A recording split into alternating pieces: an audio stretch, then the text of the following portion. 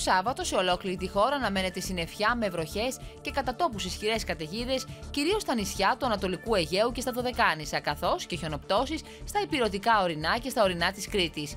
Οι άνεμοι στα δυτικά θα πνέουν βόρειοι 5 με 7 μποφόρ. Στα ανατολικά θα πνέουν ανατολική, βόρειο-ανατολική και κατά περιοχές νότιο-ανατολική 6 με 8 μποφόρ.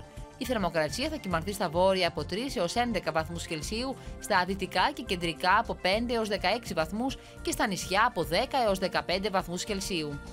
Στην Αττική προβλέπονται νεφώσεις παροδικά αυξημένες με τοπικές βροχές και με μονομένες καταιγίδες τις πρώτες πρωινές ώρες.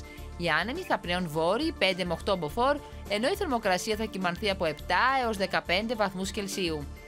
Στη Θεσσαλονίκη αναμένονται επίσης νεφώσεις παροδικά αυξημένες με τοπικές βροχές το πρωί. Οι άνεμοι θα πνέουν βόρειοι, βόρειο-δυτικοί 5 με 7 μποφόρ, ενώ η θερμοκρασία θα κυμανθεί από 6 έως 11 βαθμούς Κελσίου. Κυρίες και κύριοι, αυτή ήταν η πρόγνωση του καιρού σύμφωνα με την Εθνική Μετεωρολογική Υπηρεσία.